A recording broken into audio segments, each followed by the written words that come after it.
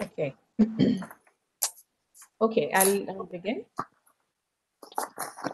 Namaste. Good evening to all our participants connected today from across the world. Namaste. Good evening to all our participants connected today from across the world. On behalf of Central Zoo Authority and Sri Chamarajendra Zoological Gardens, I extend a warm welcome to all our listener participants who have joined us today from across the globe. This is a sixth in series of the webinars that we have initiated to reach out to the zoo community on topics that are of mutual interest and you global experts who are well known and respected in this field. Today, through this digital form, we bring to you some very esteemed speakers to discuss and dwell upon the aspect of enrichment for animal welfare. So at the onset, I would like to welcome Dr. S.P. Yadav, uh, IFS, and additional DG Forest for Project Tiger, and Member Secretary, National Tiger Conservation Authority and Central Zoo Authority. Due to his continued support, we have been able to continue with specific topics and experts from across the globe to the zoo community for the last three months. And he himself has been instrumental in steering tiger conservation in its range countries and capacity building initiatives to strengthen ex situ and into in situ linkages. So over to you, sir, for your opening remarks. Uh, thank you so much, Sonali, and uh, very good evening to all participants as well as the speakers. Uh, this webinar, the topic looks me very apt, the enrichment of animal welfare. In fact, animal welfare I consider is as, as most one of the most important fundamental pillar of captive wildlife management anywhere in the world.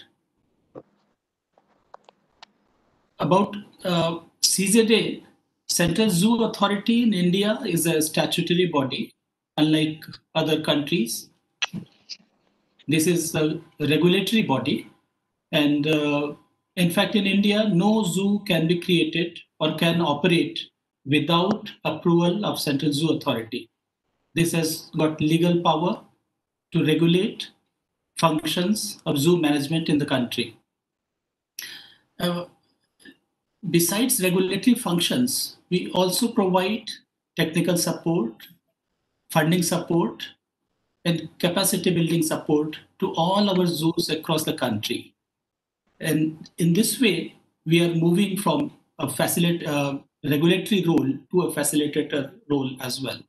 We are also a member of uh, the World Association of Zoos and Aquariums. And the main function of CZA is to recognize uh, zoo for operations. And when I say zoo, it also includes rescue facilities, rescue centers, and circus also, wherever the animal are exhibited uh, are displayed to the public. We basically oversee working conditions of zoo across the country. We do evaluation, we do monitoring, and ensure that minimum standards of captive animal management in these zoos are maintained. Uh, we are also looking into the one plan approach, like from ex situ to in situ connection, as uh, supported by the IUCN. And we, we are trying to ensure the professional management of wildlife in captivity. Uh, next slide, please. As you, most of you are aware, uh, we have large number of zoos in the country. There are 152. As you can see in the map, they are spread across uh, all, all parts of the country. And uh, very large number of people visit our zoo. Uh, around 7 to 8 million people annually visit our zoo. And mostly it is a very good center uh, for awareness and outreach for the children and aged people who cannot visit our national parks, sanctuaries, and tiger reserves. Next, please. If you see, we uh, in in captivity we keep the wild animals, and wild animals uh, they they enjoy a beautiful habitat in the wild but when we keep them in captivity, they're highly stressed. Uh, for example, restriction on movement of uh, movement, their movement restriction on the space. If you see a tiger, tiger in India has its ter- tiger is territorial animal, and most of the animals are territorial. So tiger is a territorial animal, and one tiger occupies, on an average, 20 square kilometer to 200 square kilometer in our country. And if you see the uh, range of tiger in countries like Russia, the Siberian tiger, their range uh, extends from 200 to 1,200 to 1,500 square kilometer. So this kind of territorial animal, when we keep in captivity, then it becomes uh, they, they become highly stressed, and it becomes our responsibility to provide them as natural as close possible uh, environment to them Similarly, the improper social grouping in animals, that is, that is the limitation in the captivity, uh, barren enclosures. I always say that if you want to keep lion in the captivity, you must create habitat, mini habitat, micro habitat of lion in, in the captive, captive facility. And similarly, this, this is true for all, all, all wild animals. Then um, these animals are stressed due to uh, visitors also and constantly they are interacting. In the wild they hardly interact with uh, human presence. But here they they are exposed to visitors constantly also. This also creates uh, creates stress. And and uh, in in captivity there is a routine kind of uh, uh, days for them. Routine kind of routine uh, for all wild animals. For that for example like meals they are served on particular time but it doesn't happen in wild like if you see the tiger it hunts when it is hungry when it, it, it needs food and uh, hunts mostly once in a week or once in a four to six uh, seven days. So here they they are conditioned to the captivity. So it becomes our responsibility to provide them uh, uh natural conditions enrichment so that that can, they can stimulate stimulate uh, stimulate them stimulate them for their normal behavior. Next slide please. So uh, the enrichment philosophy is about environment enrichment process for improving enhancing zoo animal. And basically their behavior because they are kept in captivity their phenotypic uh, uh, and genetic divergence sometimes that is reflected and the behavior changes. I have seen uh, when I was DFO Agra and when I rescued uh, this dancing bears and handed over it to Agra Bear Rescue Facility, and then we saw that their swinging of head, that behavior that continued for years together. So the enrichment philosophy is that provide such kind of enrichment that stimulates the natural behavior in the animal. And again, it's not one-time process. It's a dynamic and it should keep on changing. It should keep on improving based on the experience with the animals. Next slide, please. So everyone, all the zoo managers know about the objectives of enrichment. Uh, the animal welfare is, as I said, it's a fundamental pillar of captive animal management and this should become the first priority. Animal enclosure, although we have standards, minimum standards, we are ensuring in India, but they should have enough space for animals to show their normal behaviors and they should not feel insecure. That is one of the most important. Uh, security and uh, reproduction, these two aspects, two needs of wild animals are most important to which which govern their behavior and all. So the objective is objectives are reduce aberrant behaviors, reduce stress-related uh, captivity in captivity, display species typical behavior patterns. Like every animal has typical behavior, uh, and and we should try to create circumstances or environment where they show their normal behavior uh, increase in activity level of animals. In, in, in fact, in captivity, there are many animals we do not reproduce. And, and the reason behind this is they do not get enough uh, stimulation in captivity. And probably the enrichment is one of the solutions to enhance productivity or reproductive ability of these animals in the captivity. Next slide, please. In, in fact, CZA has been trying to build capacity of zoo managers in the country. Several publications uh, we uh, the CZA has already issued. They come out with uh, several publications, and they are in public domain. But there is no end to it. As I said, it's a dynamic process. There are n, n number of possibilities of making life of these captive animals uh, happy. So uh, enrichment provides uh, makes life of these animals happy and uh, close to nature. I'm looking forward for uh, both the presentations, uh, which I'm sure they're going to be very uh, exciting. Uh, with these words, uh, I welcome again all speakers and as well as the participants, and thank you so much. Thank you very much, sir. And you have set the tone for the webinar today. And as you have said that this is a dynamic process and let us now hear from our expert uh, speakers and uh, get to know the best practices that are followed across zoos in the world. So now I welcome uh, Ms. Georgina Groves, uh, Executive Director of Wild Welfare, an international agency dedicated to improving captive wild animal welfare. Uh, Ms. Georgina has over 20 years of experience working for animal welfare, research, and conservation organizations. Uh, she has, uh, and she and her team has been working in several uh, projects across uh, zoos, especially on exotic captive animal welfare in Pakistan, Japan, and South America. She is a member of the Zoological Society of London's Animal Welfare Committee uh, and also the Species Survival Network for the Animals in Captivity Working Groups. And uh, she continues to uh, be associated with uh, Bristol University and the Natural History Museum, London.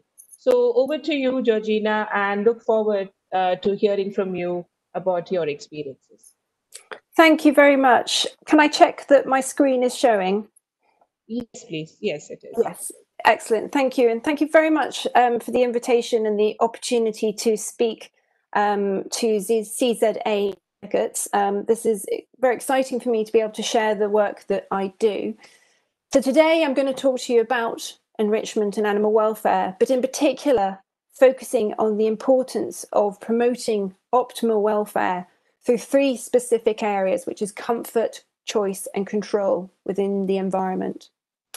But firstly, I want to briefly consider the various reasons as to why animal welfare needs to be a priority for zoos and aquariums in the 21st century. Firstly, animals in zoos should be afforded the opportunity to thrive, and we have that ethical obligation to consider the welfare of all our animals and provide them with that respectful environment which promotes those conditions of optimal welfare. But secondly, there are also implications for good business practice. Good animal welfare supports biological functioning. So, for example, high standards of welfare improves reproductive success, survivability, and longevity. We also have that social license or responsibility. We, of course, have our moral duties, but zoos are also judged on consequentialism essentially we're judged on our actions rather than what we say. And there is increased scrutiny and changing perceptions about how animals should be kept from the by the public and also by our sponsors. There's increased research also that shows people want to make ethical choices. And in the current socio socio-political climate there's growing pressure for businesses such as zoos to be transparent and active in ethical practice the humane economy, seeing animals live well, drives visitation. The rationale for visiting zoos and demand from the visitor has changed over time. In the past, it was just about show me as many animals as possible. And today it's about how we care for those animals. And in the future, it's going to be much more about how we connect and how we have an empath- empathetic connection with those animals. So, zoos nowadays are here to educate and help consumers, i.e., the public, make better more conscious choices. But what do we actually mean about welfare? Welfare now is about thriving. It's not just about surviving, and it's about ensuring an animal has a good life. Animal welfare is a concept that has a diversity of definitions and perhaps quite often a lot more misunderstandings. And it's only really been studied properly in the past few decades. And the perceptions of animal welfare are culturally sensitive, they're globally variable and subject to change through time. And it has actually been stated that there's no consensus of how to measure the welfare status of an animal objectively. However, ideas about animal welfare have evolved to the point where there's now general agreement amongst all the experts that there's increased emphasis on the affective state or the emotional capacity of an animal for them to have a good life. We must, must, as animal carers, provide animals with consistent positive experiences and positive affective states. And the ability to have an emotional capacity isn't just limited to those higher charismatic species. Even uh, the humble fish is highly evolved. Um, they've been shown to have uh, fear, excitement, anger, pleasure, and anxiety. Their brain, brain produce compounds that accompany the same emotions in mammals. So we must consider the animal's capacity to experience positive and negative, negative emotions when we're designing their environments and their enrichment. How can we encapsulate affective or emotional states and use them to understand good animal welfare? The five domains model, which I'm sure many of you are very familiar with, um, is a framework focusing device to help facilitate systematic, structured, and comprehensive and coherent assessment of animal welfare. It's not a definition of animal welfare, but the purpose of each of those five domains nutrition, environment, health, behavior, and the mental state is to draw attention to areas that are relevant to both animal welfare assessment and management. And one of the main differences between, say, this model and the five freedom model, which is also a very popular animal welfare model, is that the five domain model considers the promotion of positive experiences such as pleasure of eating or drinking or rewarding engagement, and not just the mitigation of poor experiences, just thirst or hunger, boredom or frustration.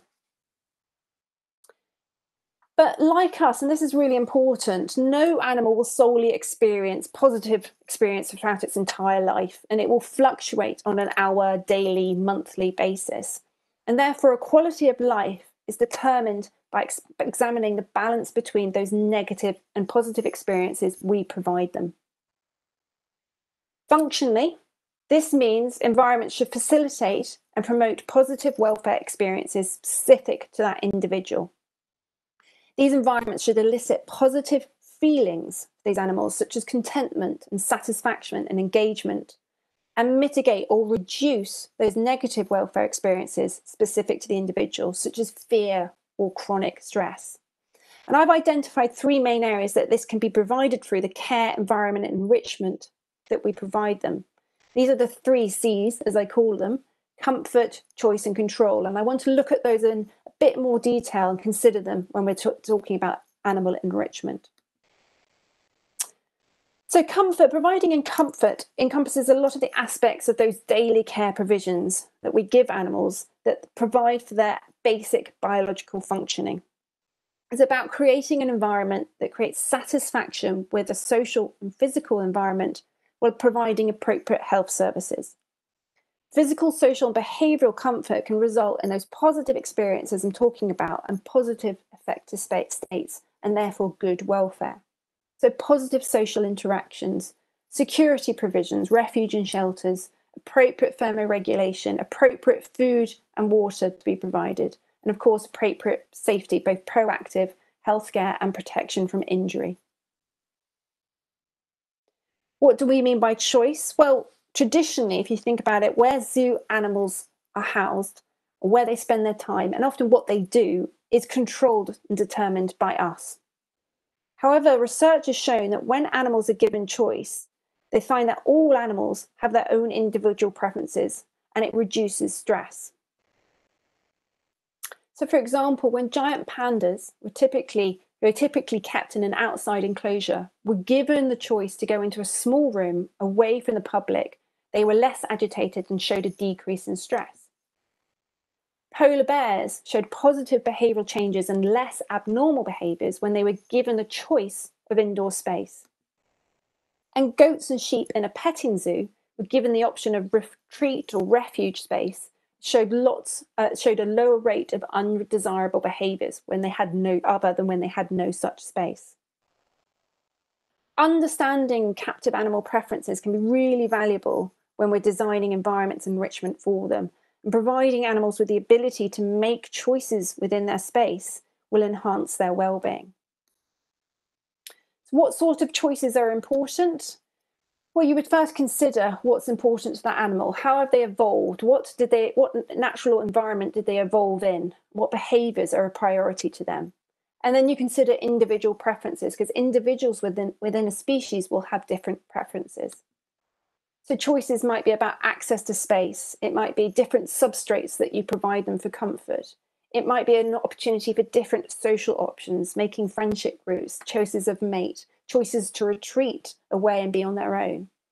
Choices of different foods. Do you provide them with the same food each time or do you give them a variety of choices? Just want to show you this video, which is a nice example of two bears who were given straw in two separate indoor areas, but they had the choice to be together. And you'll see by this bear, he moves all his straw and bedding to actually be with the other bear.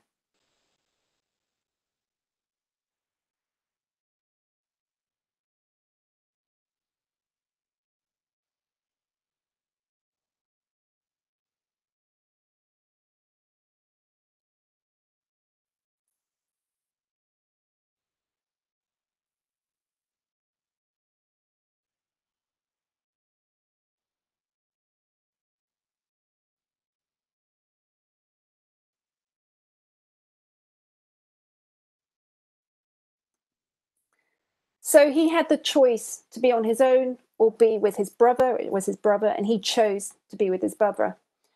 This is a really important point. Having the choice can be more important than using the choice. So pandas, again, using their off exhibit, room, they only used it for 33% of the available time, and the polar bears only used the off exhibit space for 2% of the available time. In all those zoo-based studies, the animals showed positive responses to being provided with the ability to make a choice, irrespective of whether they exercised that choice. And this has been really important, again, with environment and enrichment design, as it may be that even if those, the enrichment isn't used, having the choice to use it is enough to, uh, to recreate positive welfare experiences. How is control different to choice? Choice lets an animal react to its environment, while control allows an animal to proactively change its environment. And I think this is really best exemplified by, again, this video. This is from Zoos Victoria in Australia. And this individual triggered the hose and the water to go off so that it could cool down. But it only went off when the animal moved past the water.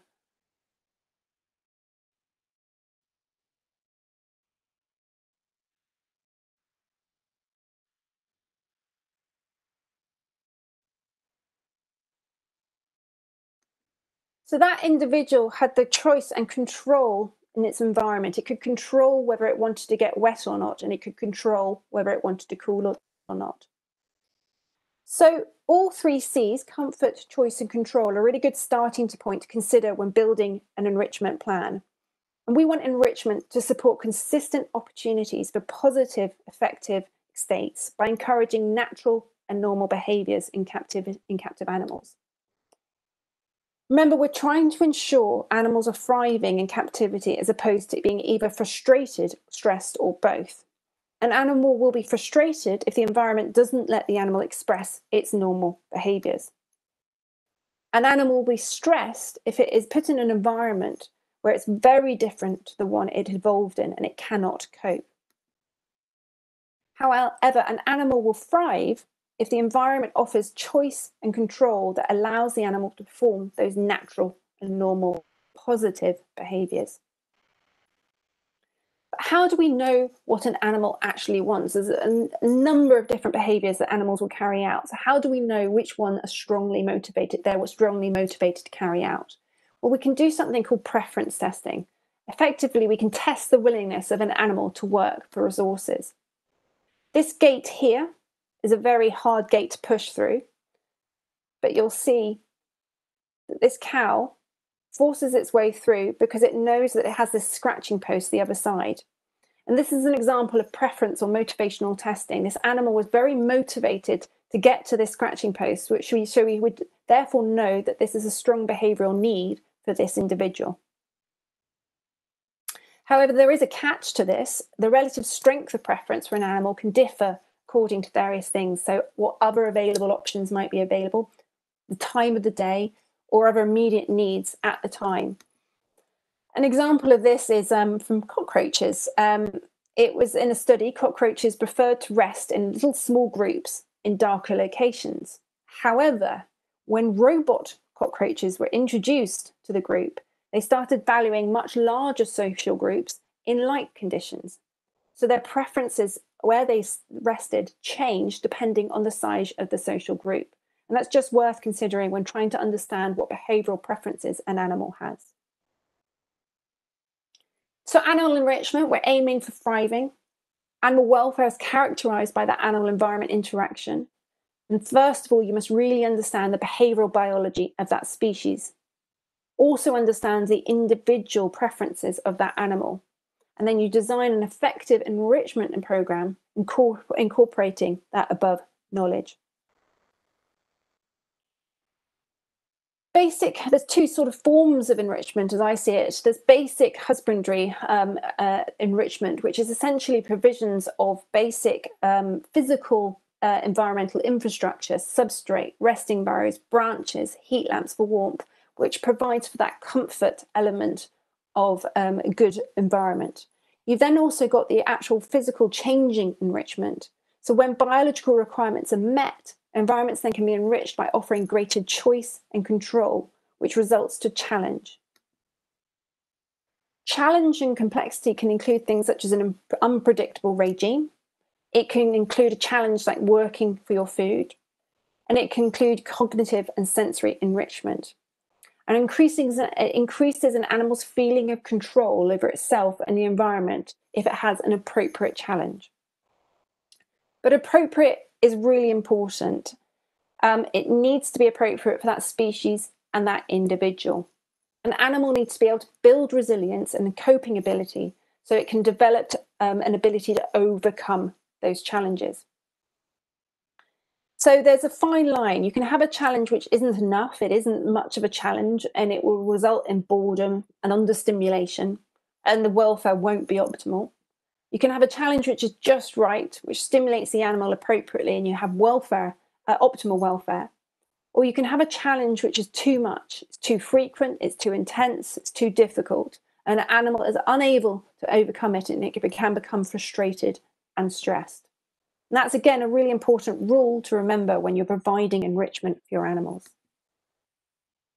There are many forms of enrichment that can be provided for, but just remember that enrichment should be based around the animal's behavior that satisfies a specific need.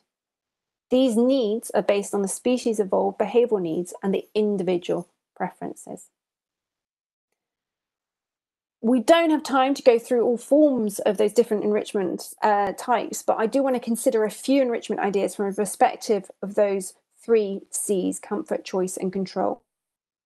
Food enrichment is a very obvious and simple enrichment opportunity. In most animals, food is a very powerful motivator of behavior. So it's no surprise that the manner and timing of feeding affects the behavior in captive animals. We have to feed them. So we have to we want to ensure that what we feed them and how we feed them meets their biological function and also provides choice and control. It should be species appropriate and safe. There should be a provision of different food choices and it should be provided in a manner that allows the animal to choose when and where to eat. And all of these can result in positive experiences. Just a, a quick unpublished study in Paignton Zoo in the UK. When scatter feeding was provided for tapir, um, there was significant increase in closure use and positive activity by the tapir. So this was just a simple change in how the animals were fed, and it resulted in positive welfare experiences. And it's not just the charismatic, as you remember, this is an example of a fish having enrichment, just being fed its food, which was hidden in a Kong.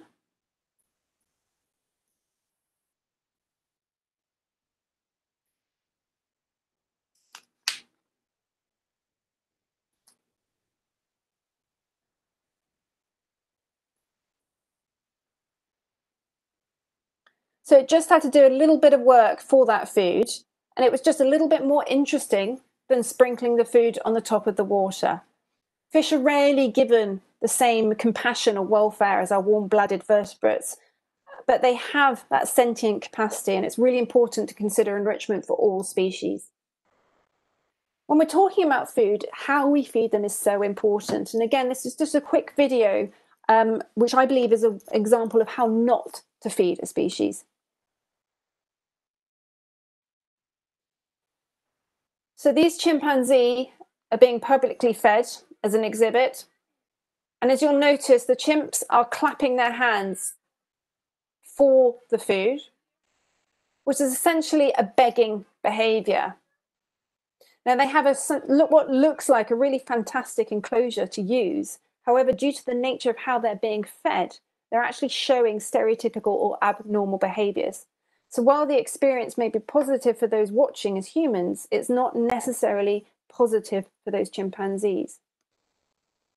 This video, on the other hand, taken at Wildlife Reserves Singapore, is a really nice example of a chimpanzee having to use a tool and its cognitive abilities to get the food. Apologies for the chatting in the background.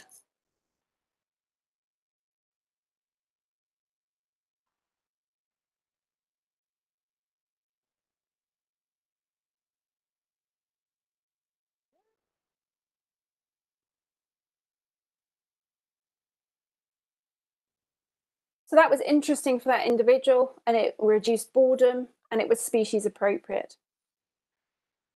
So the most important aspect of feeding enrichment is to consider how would that species source and eat food in the wild. And when thinking about food presentation and food enrichment, there's another interesting concept to take into account about how to present food, and that's contra freeloading concept. This is where an animal is provided with a choice between making an effort to obtain food when it's eaten from or by eating it from a freely available source. And quite often animals will choose to work for that food. And this video is quite a nice example.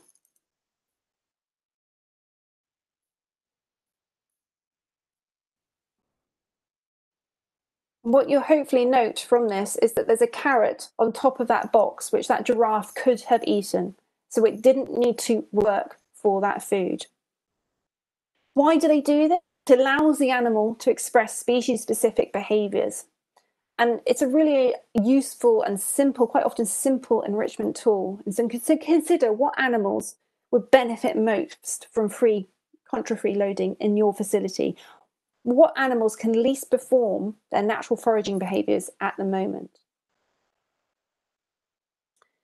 Substrate is also one of the easiest forms of enrichment that can be provided, but still is seriously utilized in zoos. And I want to consider it from the perspective of the resting behavior of animals. Many facilities still don't fully appreciate how valuable good and appropriate substrate actually can be. Resting behaviors are an essential component of animal welfare, and in a relatively recent study, showed that African elephants who spent any amount of time housed on all hard substrate slept a lot less. They didn't lie down. Asian elephants who spent any amount of time housed on all soft substrate slept a lot more during the day. The ability to lie down and rest is incredibly important, and the influence of flooring substrate is important to recumbent rest, and by extension, zoo elephant welfare, and by that extension, to all zoo animal welfare. And it doesn't need to necessarily involve mess. A lot of the facilities that I work with are worried about the mess that substrates such as sand or soil or bark chips might cause. But actually, you can also create really simple um, beds for animals. Indoor spaces where animals are kept a significant portion of the time are inherently sterile. These simple beds that we helped a zoo in Thailand make, make, uh, make are really great, not just for resting components, but also for the individual physical health. They're practical, they're movable, they're multifunctional, and they're really also great for geriatric animals that need something lower to get on. Just another study which was done again at Paignton Zoo um, um, it, um, through the EAZA office, the European Association of Zoos and Aquariums office. The introduction of bark significantly reduced aggression in the baboon uh, enclosure, also significantly increased play, a positive um, behavioural experience within this group. And that was just by the introduction of new substrate. Planning enrichment. So, importantly, you want to set goals, and these are going to be behaviorally focused. What behaviors do you want to encourage or discourage, and how can you do that? You think about the animal's natural history, you think about the individual preferences. However, perhaps even more importantly than goal setting is about addressing animal motivation. What are our animals motivated to do, and how are we going to give those animals the opportunity to do them? You would then plan formal process involving all your stakeholders about your enrichment program and you create a framework and implement it. You'd implement that, you'd document and observe, and you'd evaluate did you meet that goal? Are the animals able to be carrying out those motivated behaviors? If not, why not? And how can you readjust it? Evaluation is an incredibly critical point, both from the assurance of um, ensuring the enrichment program is um, successful, but also that it's safe. Few things to consider, which is sometimes forgotten when um, creating an enrichment program. Life cycle variations. Animals will need um, very have, very different needs varying on their lifespan. Young animals will want different things to old animals. And we have an aging zoo population, and therefore we need to consider their needs and behavioural wants. You also want to consider your animal's behavioural, sorry, breeding requirements. This could be providing them with opportunities to choose a mate or engage in courtship rituals, provide nesting or denning areas and materials. Other things to consider are seasonal variations. What type of seasonal changes your animals would experience in its natural habitat? Varying temperature and lighting in the enclosure can be enriching, or providing access to sprinklers or humidifiers to stimulate rainfall. Also, think about the seasonal variation at your own zoo. Can the animals access outdoor enclosures throughout the winter? Or does it get hot enough where you are in the summer to make cooling opportunities necessary? And do you provide them?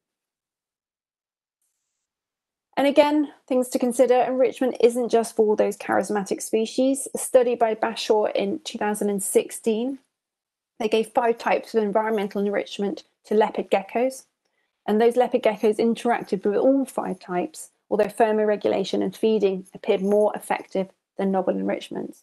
But however, the overall improvement using enrichment, uh, environmental enrichment, showed there was a in welfare. And this is really important because quite often we will give animals a very compromised space in captivity.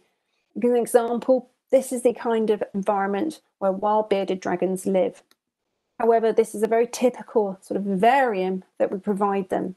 It's going to be very hard to meet those behavioural needs in a space like this. And therefore, another consideration is can your facility recreate and meet those behavioural needs? And if not for that species, should we be keeping them?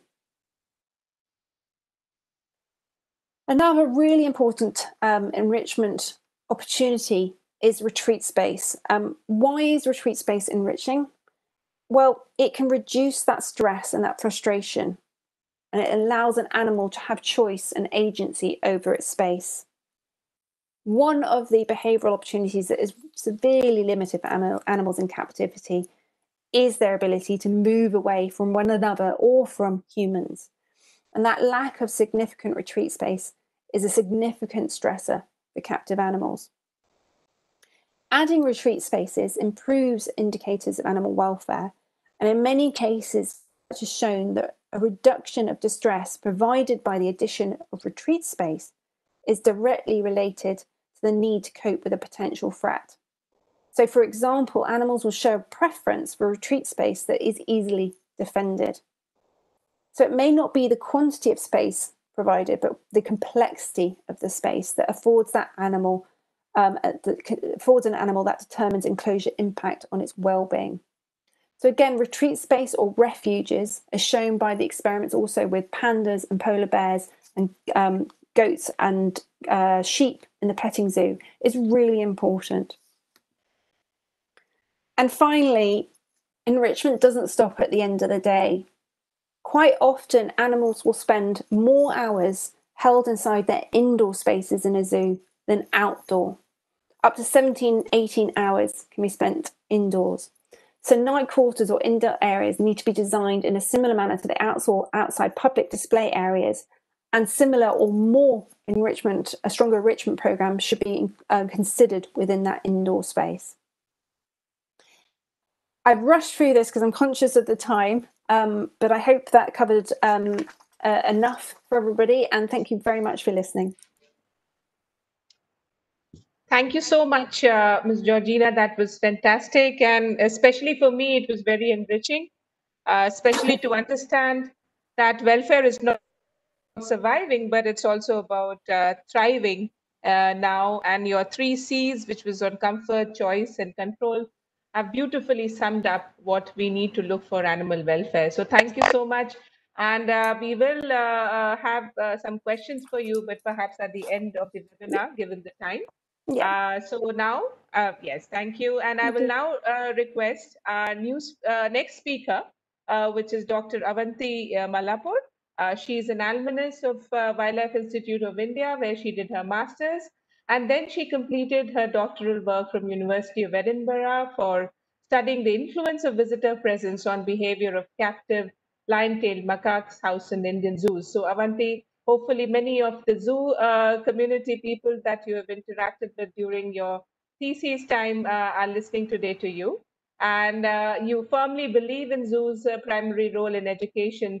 So we look forward to hearing from you as to how you manage your zoo as the curator of Micke Grove Zoo. Over to you. Thank you very much, Sunali. Um, and I thank all the Central Zoo Authority staff for inviting me to make this presentation today. And I'm really excited to share my experience with the audience. And what I'm going to do today is I'm going to share a, a, variety of enrichment items and strategies that we use at our facility. Before that, I would like to um, introduce uh, behavior and the link between behavior and enrichment and why uh, environmental enrichment is a key focus is in the zoo community. Uh, next slide, please. Um, uh, to begin with, we're going to look at a variety of behavioral uh, types. And to define behavior itself, uh, like, it, uh, like it was um, defined by Georgina in her presentation, behavior and behavioral needs are um, a way that an animal adapts to its uh, native environment. And a key focus in the zoo community today has been um, to design enclosures and exhibits in um, inside zoos uh, to be more naturalistic and to kind of mimic an animal's natural habitat, because that would um, help the animal and motivate an animal to display species-specific behavior. But to begin with, um, we have a variety of types of behavior that are displayed by animals. You have instinctive behavior, which is heritable, and it's a behavior that animals are born with when they hatch or when they're born. Um, in comparison to a behavior that is gained through learning in um, more evolved species, and um, both the learning behavior it, it, tends to be influenced by an animal's uh, ability to adapt to the environment it is living in. And the way this influences the zoo community is that a large portion of a zoo's goals and i think it's safe to say that most zoos have a common goal of protecting threatened wildlife through conservation research and education and one of the key goals to address these issues is to provide uh, animal residents in, in zoos with an ability to um, display natural behaviors, including reproductive behaviors. And many a time it is observed that a large proportion of their behaviors are displaced in captive environments. Next slide, please. Um, so the first thing we're going to do um, is we're going to define enrichment and what enrichment is exactly. It's a very simple uh, topic, and it basically is um, an husbandry principle that helps to enhance an animal's need and quality of life in um, in animal exhibits and in animal enclosures. At Micke Grove Zoo, the animal staff have uh, tried to provide the opportunity by providing enclosure complexity, and we're going to go through this um, over the next few slides. Next slide, please. Um, environmental enrichment itself has um, a positive influence on animal behavior. I've had the fortunate opportunity to um, to actually conduct research on a threatened species of primate in India, and I did notice that animal behavior is definitely affected by the enclosures that they live in, um, about um, by the habitat that they have, by their nutrition, as well as by veterinary care. Next slide, please.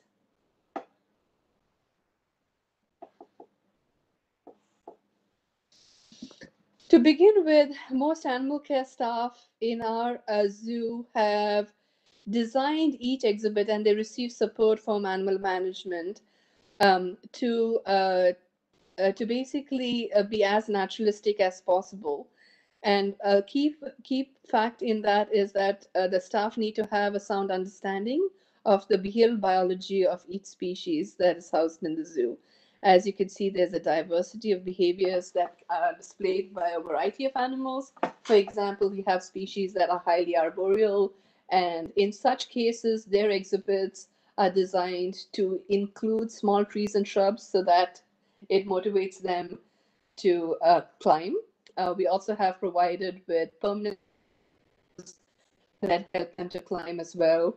With certain species that are more fossorial, we have an ability to, um, we have given them an ability to hide out, and we've also provided uh, a variety of substrates that they can dig into. Next slide, please.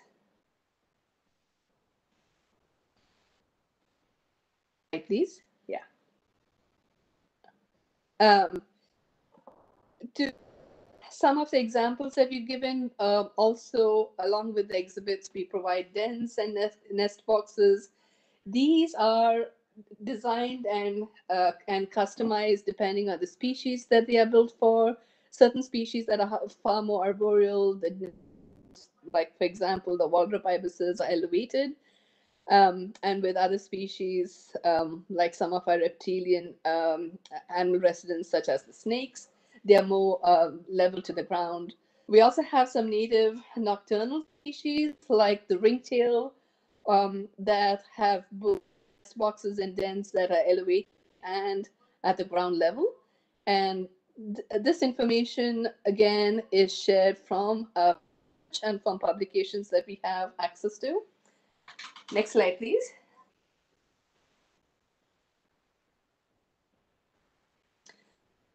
Um, substrate is a very important feature in most of animal exhibits. Um, it not only um, provides an animal an experience that is um, uh, uh, closer to their natural habitats, but it also has um, uh, uh, influences their health condition. Um, for example, there are several species that uh, have certain specific types of substrates they need to prevent um, foot-related health issues like pododermatitis. Um, a variety of substrates are used also uh, in form of enrichment um, that help uh, animals uh, and motivate animals to display exploratory and foraging behaviors. Um, in some species, we do provide uh, nesting materials that motivate uh, birds to build nests and in turn motivate them to display uh, uh, reproductive behaviors. Next slide, please.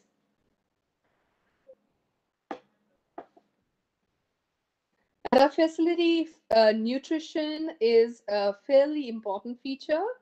A large uh, proportion of an animal's um, nutrients are given to them through their diets. Their medications are also supplied to them through the diets, and we make sure that the diets are nutritive and they and well balanced, uh, which is another influence um, on their behavior. Next slide, please.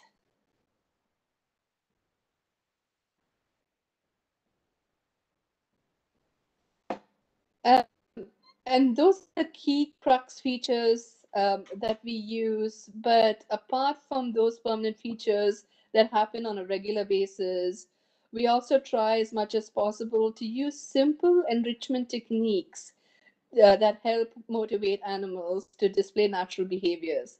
And the reason for this is uh, to provide them with an opportunity to display natural species specific behaviors that we could uh, share this information with our visiting public, but also give the animals an opportunity to um, display reproductive behaviors and to breed for um, many of these species are threatened and um, are involved in breeding programs. So our enrichment at Micke Grove Zoo are built with a key focus of motivating animals to display um, exploratory behaviors. And um, I will be going through different types of enrichment items and enrichment strategies that we use. Um, and each one is focused on a certain behavioral goal. And what we also do along with designing and implementing enrichment is that we closely monitor the enrichment and we evaluate on how successful or unsuccessful it is. And this information is imperative because it gives us a sound understanding on whether a specific enrichment type is successful with a specific species, how long can we use it with that species, and how often do we have to change it out. Uh, you have to keep in mind that enrichment items can um, uh, can um, uh, create a certain behaviors. There are also certain safety issues that need to be taken into account. And animals do get habituated to enrichment items, um, which is one of the main reasons why we often change items, enrichment items in each exhibit, and provide animals with new exciting methods to display behavior. Um, the first type of enrichment that we use are environmental, and these are structural features that are temporarily included in each exhibit. These structural features are included at various positions inside the exhibit and they can be moved around. And most of these are fairly easy to design. Um, at our facility, uh, most of our environmental features have been, uh, environmental items have been designed in-house. For example, we have a huge thicket of bamboo we use uh, bamboo to create mini ladders, as you can see here. The fire staff um, have donated large quantities of fire hose to us, um, and uh, we get them in uh, freely. We have designed hammocks and a whole array of enrichment items through retired fire hoses. Now, these hammocks, interestingly enough, can be used in a variety of exhibits because as you can see, the most species display resting behaviors. Um, and hammocks could be used by a variety of species, uh, uh, from carnivores to ungulates to even primates. But where do you uh, where do you um, uh, put up the hammock is uh, finally depends on the animal's behavioral biology. Next slide, please. Another form of enrichment that we use heavily is sensory. Um, and these behaviors are unique. And we have observed that these behaviors are very rarely displayed by our animal residents. And many of us and animal care staff focus on um, sensory enrichment, and it's fairly easy to design. As you can see, um, I haven't worked with tortoises before, but I'm fascinated to see that radiated tortoises um, enjoy having a back scratch, and it was very easy for us to come up with an enrichment design that could help them. We've got some really old um, brushes that were placed. And um, again, the tortoises, most of our animals are given a choice on whether they want to use their enrichment.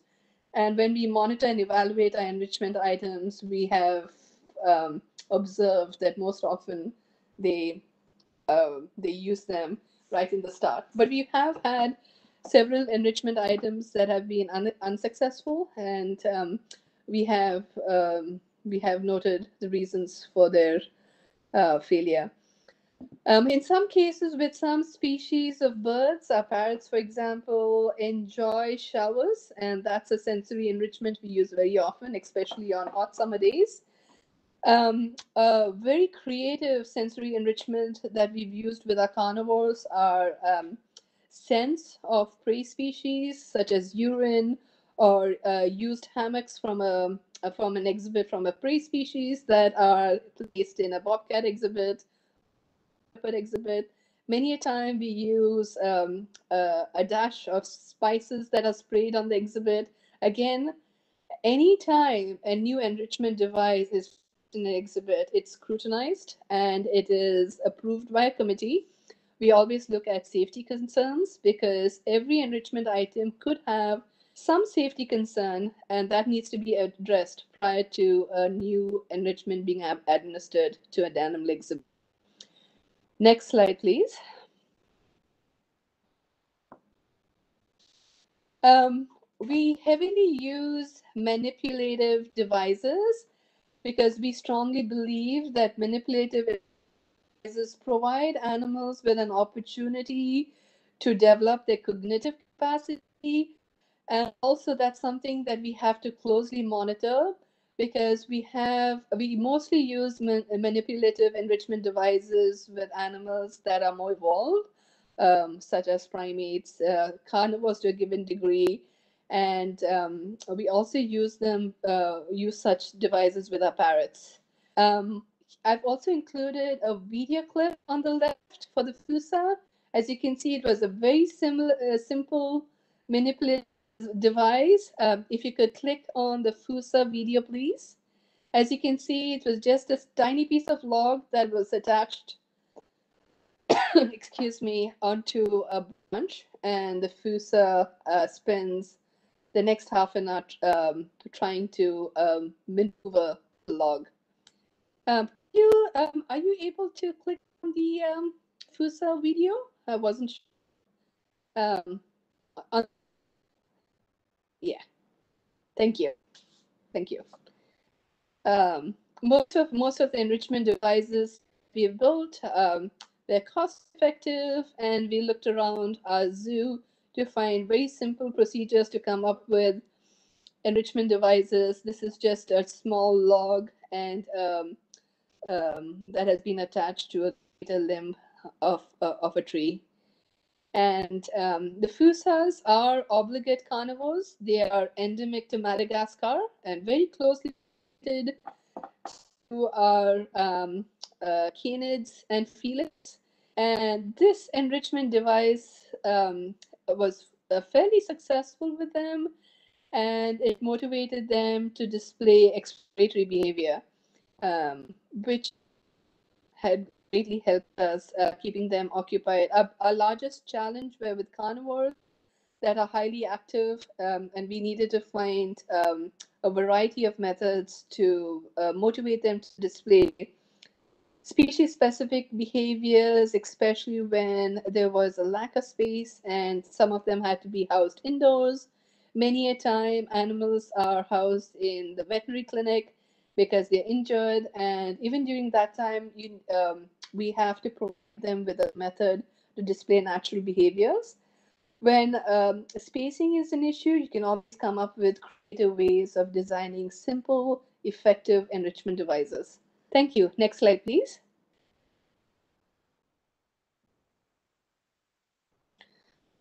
Social interactions and housing animals in appropriate social groups uh, is highly significant and it has ha- has been found by the zoo community and i had the fortunate opportunity also to examine this in my research that um, animals that are highly social, if they are has a severe um, severe detrimental influence on their behavior and they do display stress. Uh, one of our enrichment opportunities is to move animals around in their social groups to provide them with opportunity to display uh, social interactions such as grooming one another, play behavior in young animals, reproductive behavior, um, preening, as you can see with our Waldrapp ibises, um, it gets uh, fairly exciting during breeding season when new animals are introduced to one another. We've also tried mixed species exhibits, which have had fascinating, successful results.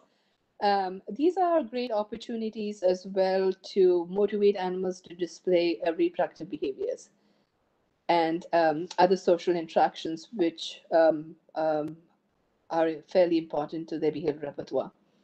Next slide, please.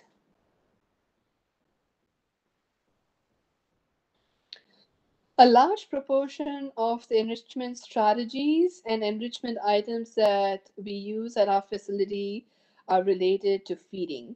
And that's because uh, what we do find with animals that are housed in zoos is that they are um, not motivated to display foraging and exploratory behavior, largely because their diets are provided to them. Um, most uh, of the zoo community and we we try to motivate animals to work for their food. And we try various ways of getting them to search for their food. One of the primary ways and very simple way that we do this is by sketching their diet um, worked successfully with afusas um, it's fascinating to observe them um, after the enrichment has been implemented um, especially with species that have a very advanced sense of smell. Um, and you could see them uh, wandering around the exhibit, sniffing in the air, looking for their food. Um, uh, we've used similar strategies with our kids, that's our golden lion tamarins and cotton top tamarins. A variety of our birds in our mixed species exhibit um, have their food scattered as well. Um, with species that are lesser evolved, um, like our radiated tortoises, we use um, what we call kebabs, where we have an assortment of um, animal uh, food items that are, are placed together. As you can see, we have a kebab here for our radiated tortoises, and they seem to be enjoying it. We also use them for our black parrots uh, very often. Again, uh, we um, the enrichment strategies we use. Uh, we use a combination. For example, we use kebabs and we place them at different locations every day. Um, so the animals have to search for their food. With our ducks, uh, like the marble teal here, we use floating fire hose uh, feed uh, baskets that float on the water.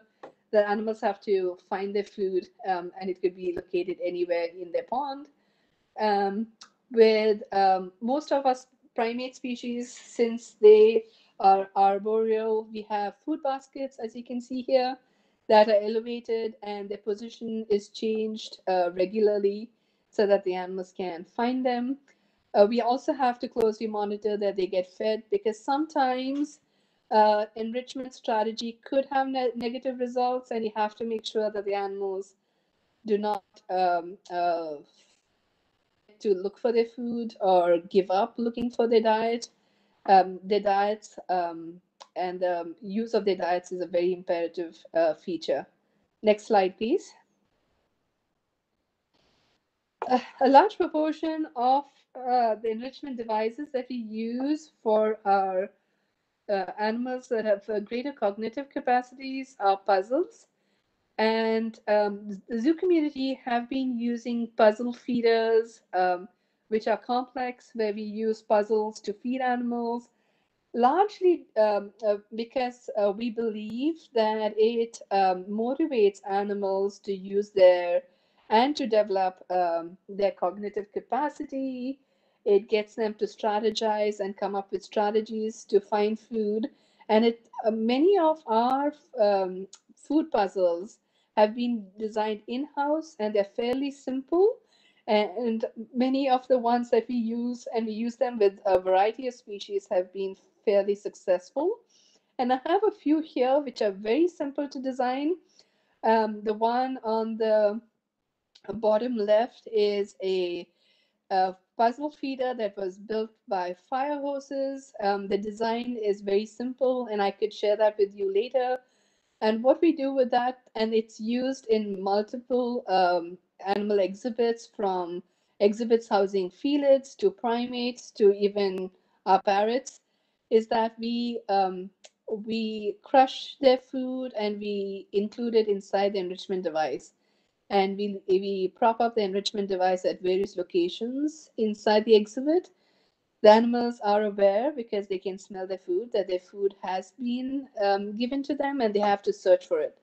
And the searchability and exploratory behavior that it motivates um, is far higher than when the animals get their food in a plate. Um, the middle, uh, the middle image is uh, bamboo pieces with holes in them, and these are uh, again uh, puzzle feeders where we fill the bamboo, which is hollow, with hay, and we place, uh, especially for our insectivores, we place uh, feeder insects in the in the hay. The um, insects that we use to feed our animals are crickets, mealworms, um, um, uh, fly flies and so forth they have been highly successful because um, many of these insects are desirable by many of our species especially by our hawk-headed parrots and our golden lion tamarins as you can see them on the left. Um, and largely when these are uh, feeder puzzles are uh, are administered you can see them uh, observing and trying to get get the insects out.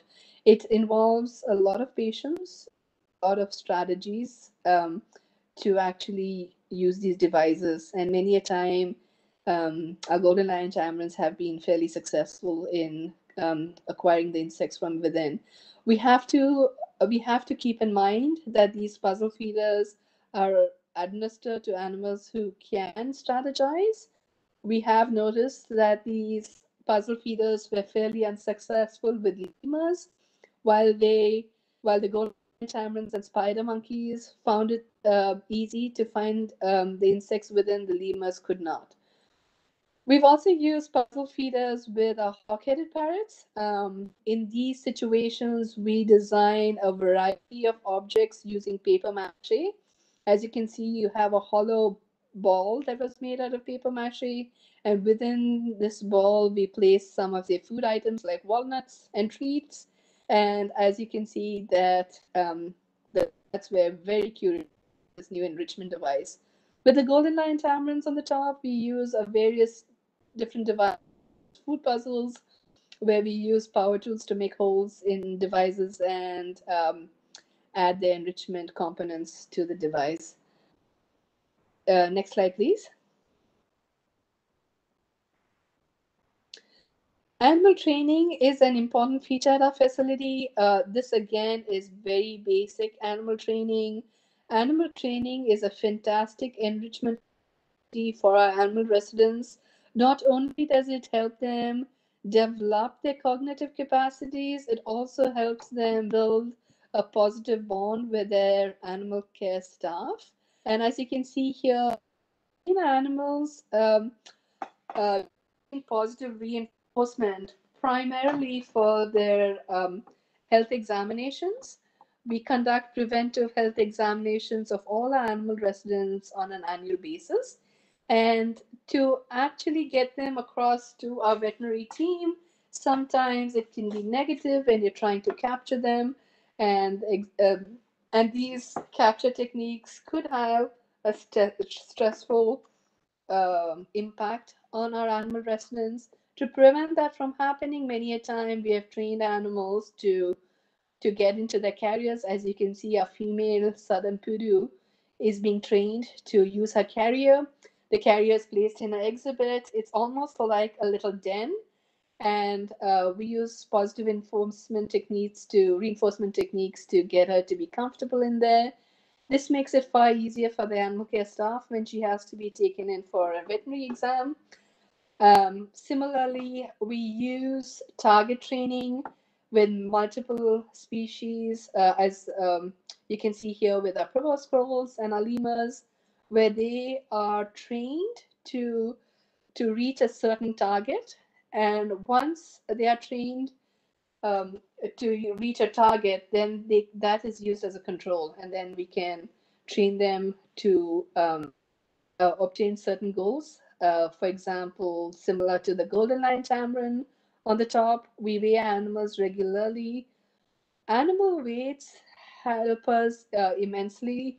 It um, answers several questions for us. If an animal is unwell, uh, their weight drops, and we can um, we understand that there's a problem because their weights have dropped. Um, many a time, animals are pregnant, their weight increases, and um, uh, any fluctuation in weight gives us a sound understanding that the animal situation has changed. Um, a large proportion of our animals have been trained to use their weighing scales through positive reinforcement techniques. And in most cases, we use um, food items to train them. And these food items are carefully uh, chosen and uh, are always a part of their diet. Um, we make sure that they don't get additional uh, items in the diet. All the animals' diets, as well as enrichment items, um, including food items, are discussed in a committee and our veterinary staff um, as well.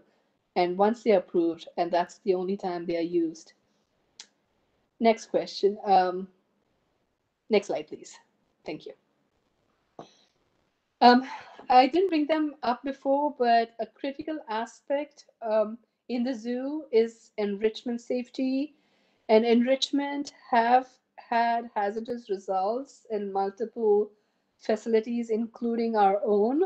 Every enrichment device that's used as a uh, by our facility is scrutinized, is um, is uh, checked by a committee and the veterinary team, and only when it's approved it is used. Um, and it also needs to be uh, approved for specific species. Several enrichment items that are used with certain species are not used with others. Also, also there are personality differences. For example, we have a variety of enrichment items that we use with our snow leopard and our bobcat that we do not use with the fossas because the fossas tend to chew on many items and we are unable to use anything heavy duty, uh, any uh, heavy duty plastic items with fossas. Similarly, we try as much as possible not to include any toxic plants that could be fed upon or chewed upon by our primates. Um, a large proportion of our devices uh, that are available today have batteries or electric components to it. Um, we try uh, that we train all our staff not to use any of these items in the zoo as enrichment. Also have to be very careful on what kind of enrichment devices that we prepare and construct because animals can get stuck in holes, they can get entangled in hammocks. Um, if they are able to chew the enrichment item, they can break off a part and swallow it and asphyxiate. Um, uh, they can get their legs caught uh, enrichment items. They can also um, uh, eat some food item that might have a disease in it. We have to make sure that all food items that are administered in food enrichment are disease free have also had challenges where open outdoor exhibits um, that were um, where enrichment was administered, animals were able to carry these heavy duty enrichment and throw them towards the visiting public, and it has been injurious to the visiting public, and that's something that we be careful of as well. Uh, apart from that, we have closely monitored and every enrichment item that we have used in the zoo for a variety of reasons because we need to check if the enrichment item is successful, how long it takes for an animal to habituate to the item, um, whether species specific, if you use an item with the bobcat, could be used with the fossas and with snow leopards. All information about enrichment items are, are um, uh, studied in detail and documented. And that information is shared with all the zoo staff. And in some um, situations, we share them with the zoo community as well. Um, and that's about it. Thank you. Thank you so much, uh, uh, Dr. Avanti. That was fantastic, and especially to give us a sneak peek, uh, you know, behind the scenes, and especially in your Micke Grove Zoo. And uh, I think even the and personally for me, the last slide where you know you give us the enrichment safety uh, details was also an eye opener, and and it's great, and and to see that how closely you monitor each and everything and making uh, enrichment especially as a as a science in which we need to look uh, deeper into uh, unfortunately we have run out of time and we are a little bit uh, uh, you know uh, in terms of behind schedule but having said oh. that i might as well want to take a few questions and because you know we've got some great reviews coming up on the youtube channel chat box so I'll open up and I'll uh, have three questions for each of our key speakers today. And I'll start with uh, uh, Ms. Georgina today. Uh, Georgina, the question uh, which has come up in the chat box of the YouTube channel uh, for, and I'll, I think I'll mark drive it to you, is that should night shelter enrichment be similar to enclosure enrichment? considering they are small areas. So I, I'm assuming it's to do with when you have very limited space and uh, what do you do with it? Mm. Um, it's a good question um, and one that uh, I get asked a lot because people feel quite overwhelmed when um, enrichment is described and they think they need to have a huge amount of space for these animals. Space is, of course, very important, but even more important is what you do within that space and the environment that you provide within that space. So, as I said in my presentation, animals can quite often spend about 16 hours of their day shut inside if they are shut inside a part of management practice, um, say from 4.30 in the afternoon to 8.30 in the morning. And those animals might be more active during the nighttime. They might be a nocturnal species. And therefore, and even if they're not, you should still be providing um, an enrichment program for those individuals in that space. So, whether it's an indoor space or it's a small space, what you need to do is consider what the animal's um, behavioral needs are. Are they arboreal? Are they terrestrial? Are they social? What are their behavioral needs? And when are they most active? When do they carry out these behaviors? what motivates them to carry out these behaviors, remembering that not all behaviors are equal. And we want to prioritize encouraging those behaviors that are positive and rewarding. Um, you would then consider that space and think about how can you use it both vertically and horizontally. Remember using all that area of space dependent on the species needs and the species priorities. Um, you create a nice rotational enrichment plan that is diverse, that's species appropriate. But key to all of this is ensuring that you evaluate any enrichment that you do. And again, just going, um, reiterating what Avanti said, is that safety is paramount. Any new enrichment practice that you put into an enclosure should be consistently evaluated and monitored because every animal will react differently to that enrichment. Um, for small spaces, you can add substrates, you can do food hiding, you can um, create perches, you can create um, hammocks. Uh, olfactory spraying, um, spice use is very useful in terms of um, simple enrichment tools that can be used in any size enclosure. And very quickly, I just want to share a video, if that's okay, which is a video of um, a very small gibbon enclosure in a rescue space. And as you'll see, what they did was ensure that they could meet that species behavioral and physical needs. Gibbons have evolved to um, live in high up in the canopies in trees that move around in the wind. They want flexibility. So if you'll notice, and I'll just play that again, all those tree stumps here are attached by hoses so that they are movable. So you can still provide that brachiating space for the individuals, even in a small area. And very quickly, another small video. This was something that we designed for um, some macaques in a uh, enclosure in Vietnam which was fairly barren, as you can see. But we provided a simple foraging box for these individuals. So they actually start hunting and looking for their food instead of it just being thrown on the floor. It was a small space, but what it did is it encouraged some social cohesion, or although a little fighting as well, which you'll see in a minute. Um, but allowed the animals to look for their food. So even in a very basic enclosure, it gave them something to do and it was species appropriate and encouraged those rewarding behaviors.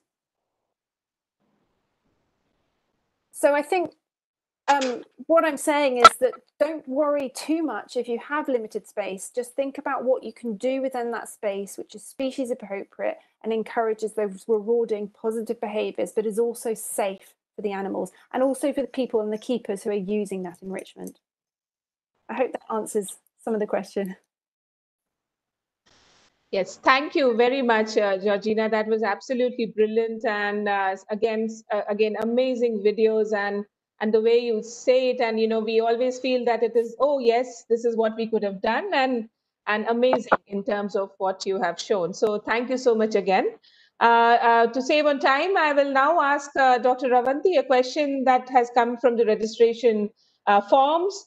And this is for you, is that can enrichment be used as a curative tool for captive animals, especially those who have already extreme, you know, exhibiting extreme stereotypic behavior? So what's your view on it? Well, in some situations, um, I had researched um, using some of these tools with um, lion-tailed macaques when I worked with Indian zoos, where a large proportion of them were brought in. Um, they were taken in by uh, because of pet trade, confiscated by the forest staff and brought into zoos. But by then, because they had been isolated um, and uh, by the private parties that housed them, they had developed severe behavioral um, problems such as um, pacing behavior, floating limb, and uh, stereotypic pacing. A large proportion of behaviors were self aggression, um, which was a huge challenge. Many a time, stereotypic behaviors, once they have started being displayed, it is more challenging to reduce the proportion of behavior displayed uh, in comparison to preventing the behavior from developing in the first place. But once animals have started displaying these behaviors, I did notice, depending on which behavior you're targeting, and I always encouraged uh, targeting specific abnormal behaviors because each behavior can be addressed in a different manner. And in this research study, I was targeting self aggression because I did observe several adult male lion tail macaques displaying self aggressive and self injurious behavior because the aggressive behavior towards their own selves was um, so heavy and so frequent that they were injuring their limbs, they were injuring their shoulders, and so forth.